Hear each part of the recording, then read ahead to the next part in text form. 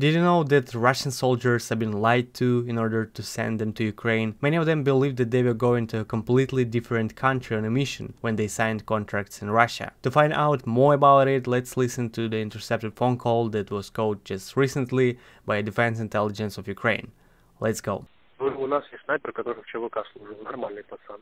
Так а он как, он по контракту или Не, он по контракту здесь. по Он контракту? решил попробовать, что такое российская армия все-таки. Не частная, а именно вот российская. Говорит, дерьмо, больше не пойду. В ЧВК обратно войду, вернусь. Мгм. Ну вот у пацана есть, который вот он здесь всего год. И то он здесь год набрал а- в армии вообще. Нихера себе. Пришел на срочку и подписал контракт, сразу сюда попал. Там Не, ну подожди, а он же мог отказаться.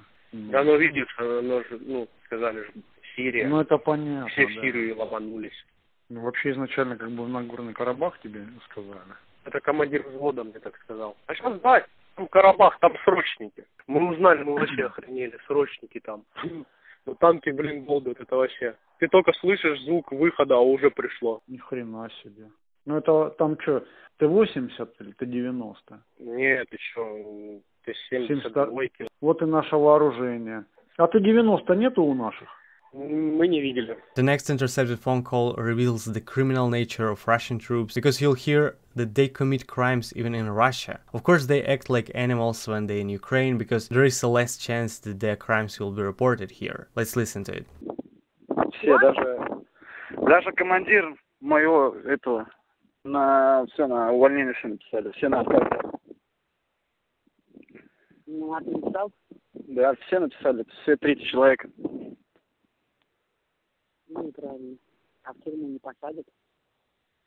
Там он подполковник написал, да не посадят никого. Не знаю, у нас тут хотят по, по адвокатам бегают. Пускай что хотят, то и делают. Тебе не звонил? Нет,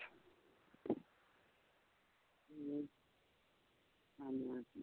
Ну, если вам еще подпишут это увольнение. за нами уже второй день.